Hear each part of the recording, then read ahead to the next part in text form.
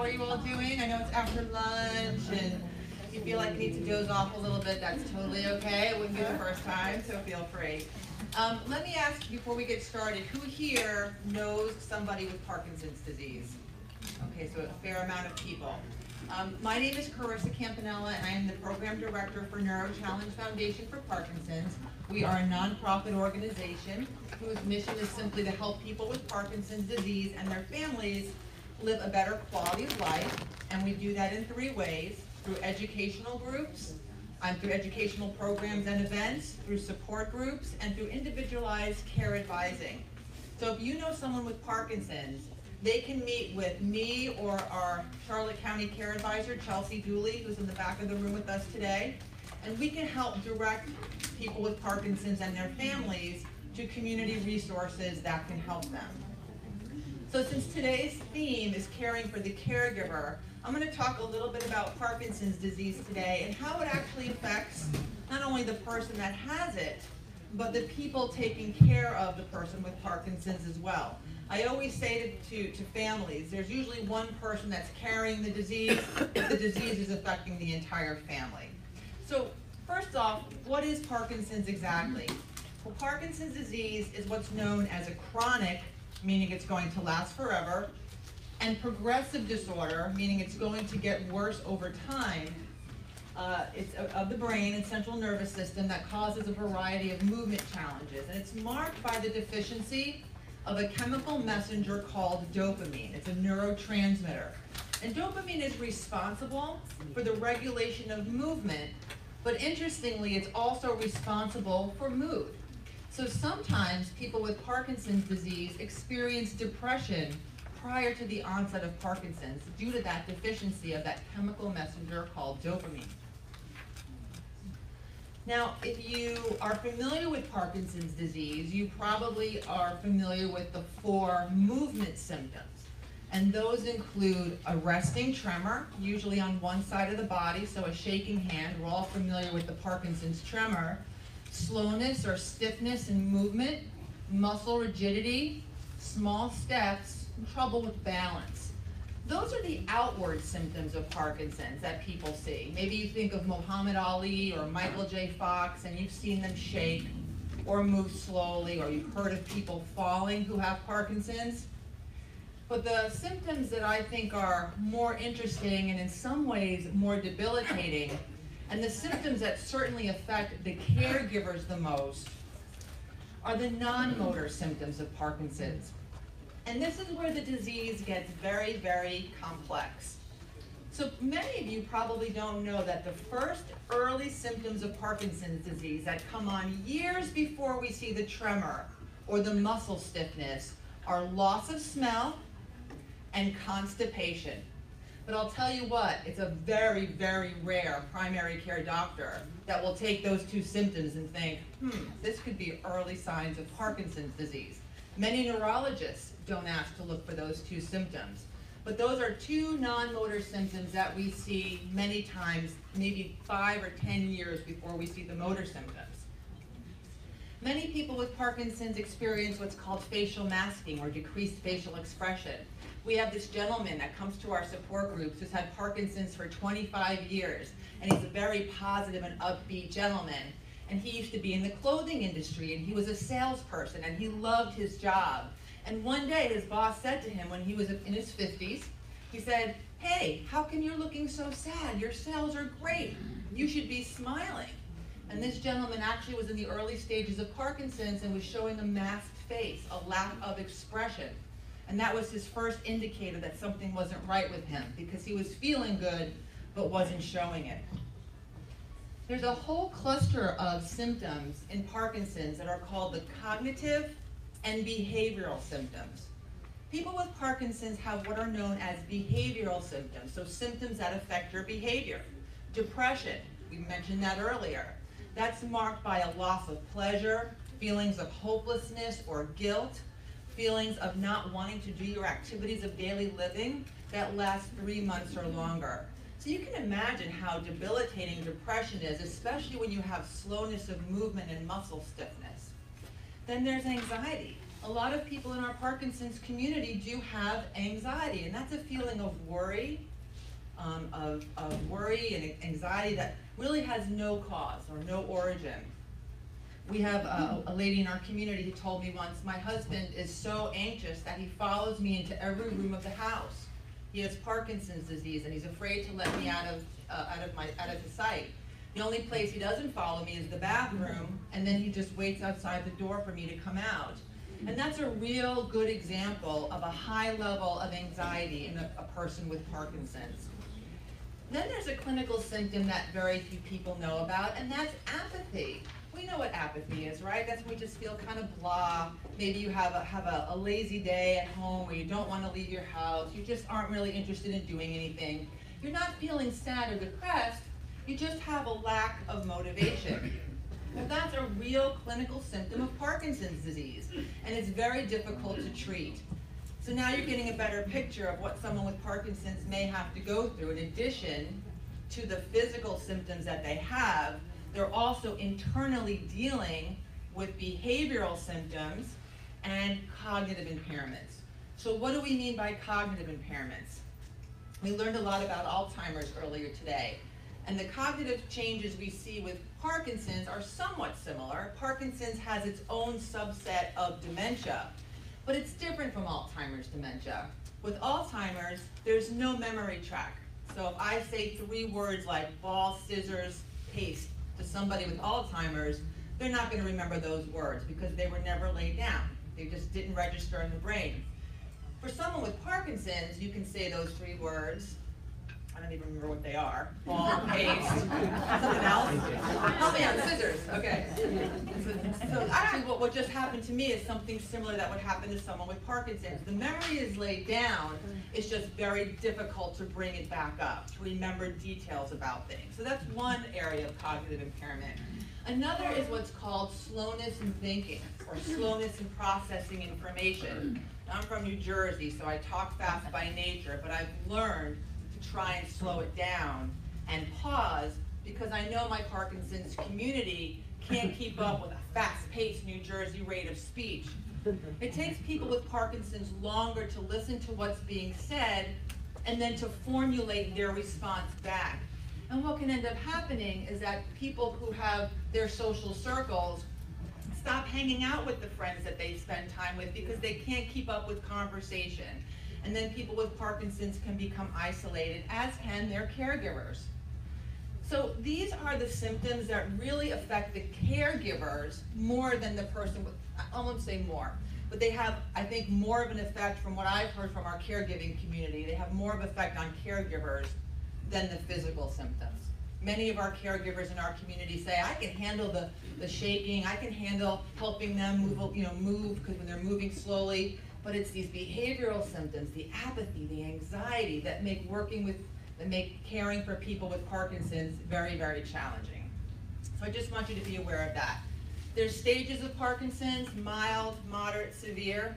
In the milder stages, people with Parkinson's are maybe working, they're doing their activities of daily living, they may have a tremor, but everything is, is going along okay. In the mid to later stages, movement becomes more challenged. There's higher levels of debility. We start to see utilization of walkers, things of that nature. And what's interesting is because Parkinson's is not a fatal disease, you can live with it for 25, 30, 35 years. We have people in our community that have had it for many, many years. So you may actually live out your natural lifespan and never experience the later stages of Parkinson's, but many people do. Here's some demographic data for you. Who gets Parkinson's disease? We know that there's about 1.5 million people in the United States that have been diagnosed. That number, like um, Alzheimer's, is projected to grow. Alzheimer's, um, Parkinson's is projected to double by the year 2040. So we're going to see a lot more instances of it, especially as our population ages. We know in our immediate area, there's about 10,000 people affected. By the way, NeuroChallenge Foundation has served 2,700 of those in the past year. Um, that's why we're out in the community educating because we want to help everyone that needs our help. We know that Parkinson's typically develops after age 60, usually around 62. If it occurs before the age of 50, that's young onset. Michael J. Fox was diagnosed at 29, which is exceedingly young. And because of that, he's going to live out every manifestation of the disease because he's got many years to go. A lot of times at our support groups, people with Parkinson's will say, how did I get this? Why me? And I get it, because it's a really difficult, frustrating disease. But it's not like smoking and lung cancer. There's no direct cause. People don't bring this on themselves. There is some speculation that it's caused by toxin exposure, so we have a lot of veterans of war, um, people that work in industrial type careers. And then sometimes it's just what's known as idiopathic. People get it for no reason. So sometimes we just can't pinpoint it. Now, who treats Parkinson's disease? This is really important information to know. If you're lucky, you'll have a primary care doctor who notices that something's amiss. But most primary care doctors aren't doing regular screenings for Parkinson's. You know why? The best way to identify someone may have Parkinson's potentially is to see them walk, seeing that shuffling gait or that stiffness. But most primary cares don't have their patients walk down the hall. It's not what they're looking for. So when a diagnosis is made, people with Parkinson's see neurologists. A neurologist is a doctor that specializes in diseases and disorders of the brain. But I want you all to know that there's a special type of neurologist, a movement disorder specialist neurologist, that really uh, excels in the treatment of Parkinson's disease. And these are neurologists that have done two more years of fellowship training just in movement disorders. So dystonia, Parkinson's, tremors, that's all they do.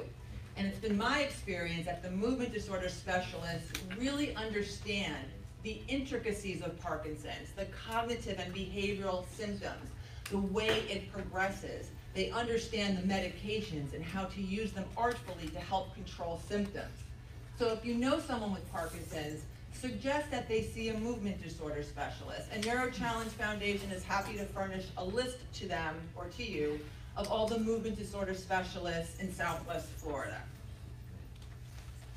In addition to seeing a doctor, people with Parkinson's also benefit from seeing physical therapists who help with functionality. There's actually Parkinson's-specific physical therapy programs that exist in Charlotte County. Occupational therapists can help people with functionality in the home. They can do something called an in-home assessment, where they'll come and look at the houses of where people with Parkinson's live and make recommendations to help them navigate their environment much better. Speech therapists can help people with Parkinson's amplify their voice. Another symptom of Parkinson's disease that I didn't mention is uh, vocal amplitude reduction, low speech. And also with Parkinson's, because of that facial masking, that dysfunction in the facial muscles, people with Parkinson's speak very slow and they don't move their lips very much. They don't articulate very much. They don't move their lips. So speech therapists help with making voices loud and with articulation. Because we don't want people with Parkinson's to, to come away socially. We don't want them to lose their social connections and interactions. But the truth is, if you're having trouble keeping up with the conversation, if nobody can hear your voice, if no one can understand what you're saying, people are going to start to talk over you and you're going to start to pull away. And we don't want that to happen to our Parkinson's community because they have a lot to say and they've had wonderful lives and we want them to stay engaged. It's very important. Pharmacists can help answer medication questions and then there's many mental health counselors in our community that understand Parkinson's very well and can talk about the stages and the changes and acclimating to this new normal because Parkinson's disease can change every day and bring you a new normal. So here's how you stay empowered to fight Parkinson's disease. These are the strategies that NeuroChallenge encourages our community to employ. And we'll go through them one by one briefly.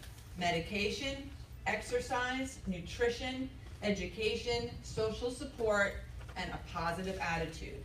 I'm not going to talk about specific medications per se, except for one, carbidopa levodopa. It's been the mainstay for many, many years. But if you have Parkinson's, your first order of business is to find a good movement disorder specialist that understands and can manage your symptoms. And the second thing is to get on a good medication regimen.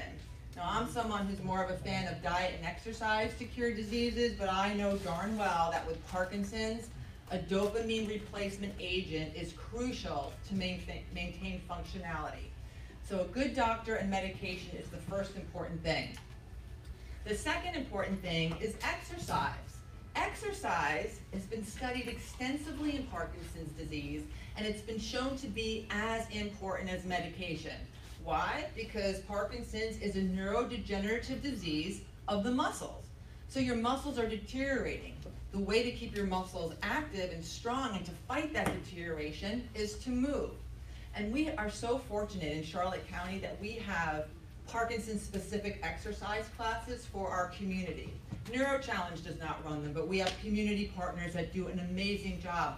Boxing classes, cycling classes, strength classes. So, so exercising in a Parkinson's specific class is critical. I like classes because you, you work harder, you're with people, it's social, it's engaging, and they're usually run by professionals who really understand the disease. So medication and a good doctor, and then exercise. Nutrition is important. We heard from the nutritionist how important it is to eat clean, healthy foods. I'm not a nutritionist, so I'm not gonna tell anybody what to eat. But we know with our Parkinson's community, they suffer from constipation. So eating foods with a lot of fiber is very helpful for regularity because constipation can definitely be an issue. Water is important, drinking a lot of fluids. And then there's one little issue with protein and medication, and that is sometimes if you eat a high protein meal with carbidopa levodopa, it may not work as effectively. So doctors typically encourage their patients to take their medication an hour before eating or two hours after, more on an empty stomach to get maximal efficacy. So, educate, so doctor, right, medication, exercise, education. I have to say, our Parkinson's community comes to all of our educational programs. We do large ones, we do small ones. We have an amazingly industrious, motivated community who want to learn how to live well with this disease. Because you can, and the more you know, the better able you will be to live with this disease. We have support groups for caregivers and for people with Parkinson's. And oftentimes, in those support groups, people learn more from each other about how to live well with the disease than they do from the doctors that stand up on the podiums. So if, I would encourage anyone that's dealing with a disease state to attend a support group. Support groups are so, so valuable. Not only do you learn from each other, but you get support from people who absolutely understand what you're going through. Because sometimes well-meaning friends or relatives will give you advice and make recommendations, but unless you're going through it, it's really hard to understand how Parkinson's is, is debilitating both the person that has it and the caregiver. So education is another component. Social support, look, if you have Parkinson's, your life is gonna be a little bit more challenging. You're gonna have to modify the things that maybe you used to like to do. But nothing's more important than being social and being active. We heard earlier that being social is actually really important for the brain it helps prevent dementia, and sometimes Parkinson's can lead to changes in cognitive functioning. So be social, come out, do the things you used to like to do. If you're part of a golf group and you get Parkinson's and you can't play golf like you used to, figure out a way to modify it. Maybe you swing differently. Maybe you get a different golf club. Maybe you take up pickleball or something else or some other sport that doesn't require a swing. But don't drop out of your activities 100%. Stay social and stay involved. And then, of course, a positive attitude. No matter what life brings us, and we've all had our trials and tribulations, a positive attitude is going to make it all that much easier. Be positive, stay focused in the present. Most importantly, be focused um, not only in the present, but be willing to be adaptable. Because Parkinson's disease brings changes if you're willing to adapt, if you're willing to accept those changes, it's gonna be a lot easier than trying to fight it or being in denial or, or being, feeling sorry for yourself. And, and that's okay to do in the short term, but ultimately, to live well with Parkinson's, you have to be strong and have to fight it.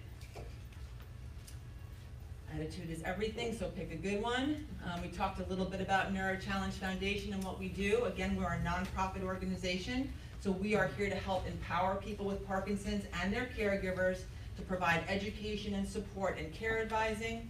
We do a very large-scale Parkinson's Expo that's coming up on April thirteenth in a few weeks. It's free of charge. I've got flyers in the back.